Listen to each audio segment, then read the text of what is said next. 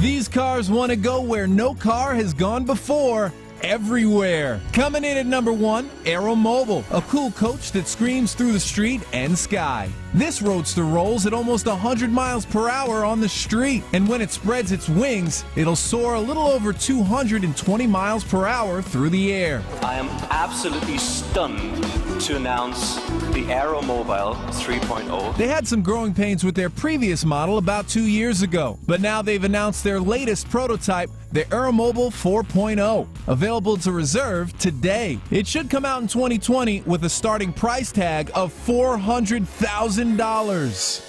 Coming in at number two, the Terra Wind, an RV that goes across the country and pond. Basically, once you drive in and are floating, boat propellers in the rear take over. The rear porch even doubles as a swimming deck. Look at them jump into the water. It was designed specifically for freshwater environments such as lakes and rivers. It was not intended for ocean use.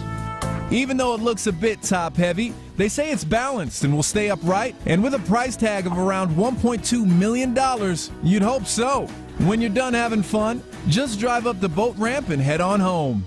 And at number three, the Submarine Sports Car, a slick looking roadster that wants to go for a dip. Made by Rinspeed, this thing runs 100% on electric power, which is kind of a shock since it goes 35 feet underwater. We have taken the inspiration out of the James Bond movie The Spy Who Loved Me. However, there it was fiction, and now we do reality. Can you swim?